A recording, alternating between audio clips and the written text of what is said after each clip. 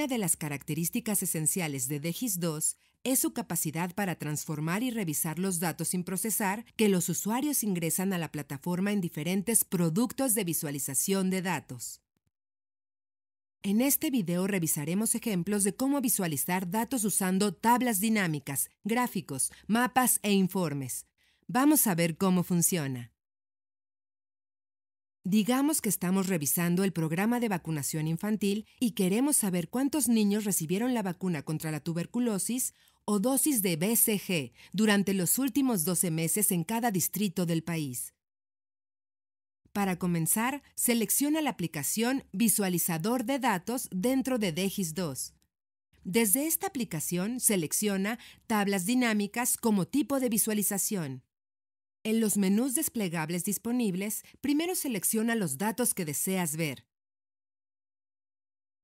En este ejemplo, las dosis de BCG administradas.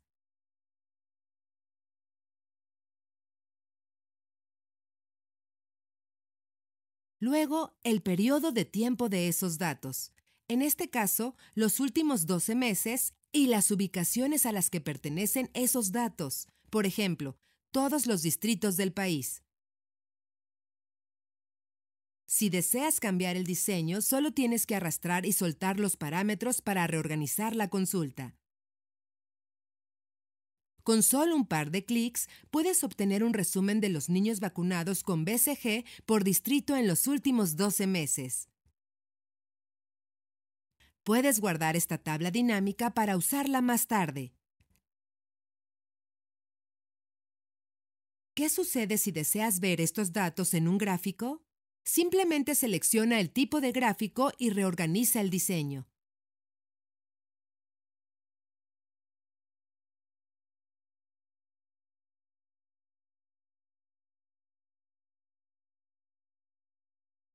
Si no sabes bien cuál es el mejor tipo de gráfico que puedes utilizar, revisa las descripciones de cada uno para ayudarte a seleccionar el que mejor se adapte a tus necesidades.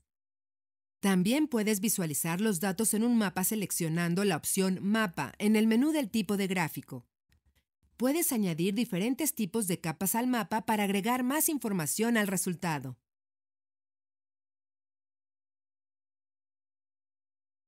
Todos estos ejemplos muestran usos muy simples de las herramientas de visualización de datos disponibles en DGIS 2. También puedes crear representaciones más complejas utilizando las mismas herramientas. Por ejemplo, si observas este gráfico, verás que muestra el desempeño general de la administración de vacunas esenciales por región en comparación con un objetivo deseado. Y lo que es más importante, puedes agregar descripciones e interpretaciones a estos objetos en función de los datos que se muestran. Esto te permite proporcionar un poco más de contexto a los datos que estás mostrando. Puedes darle un nombre a esta representación y agregar una descripción explicando lo que estás midiendo. Por ejemplo, si la cobertura de BCG es superior al 90%, eso significa que debemos mantener los esfuerzos tal como están. La baja cobertura puede basarse en muchos factores diferentes que podemos explicar aquí. También puedes agregar una interpretación basada en tu análisis de los datos mostrados. Por ejemplo, en el distrito Gato, EPI-MR2 es 52,2%. ¿Hemos comprobado si hay algún problema con el stock o la entrega del servicio? Finalmente, DEGIS 2 proporciona varias herramientas de informes a través de la aplicación Informes. Por ejemplo, podemos utilizar el informe de set de datos para obtener información detallada sobre diferentes aspectos del programa de vacunación en un establecimiento de salud determinado en un periodo específico. En resumen, hemos visto cómo crear diferentes tipos de representaciones en DGIS 2 según los datos ya ingresados.